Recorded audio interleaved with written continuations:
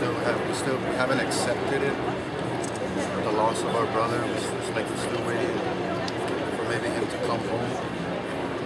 That's that's how we feel three years later. That it's like it's it's been a long time, but it feels like it hasn't been that long. Just, we miss him every day. He's talked about every day. He's remembered every day. So I don't know how we feel. We're still lost, empty, not the same as we once were when he was around. I can say. That's about it.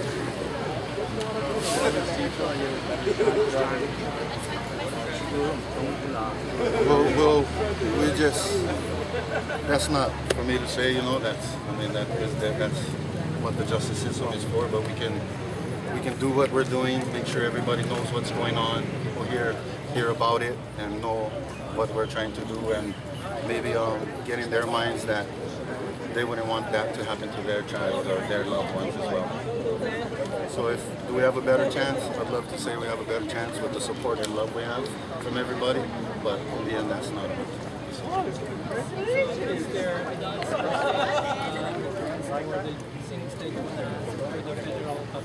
Any requests?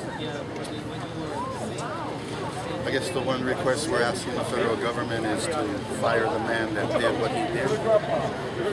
By we tried to deliver the petitions, they didn't accept the petitions, and um, that's that's the only request we really have is to fire somebody that um, murdered my brother, and he's, he's still allowed to have his job, which is not right in, our, in a lot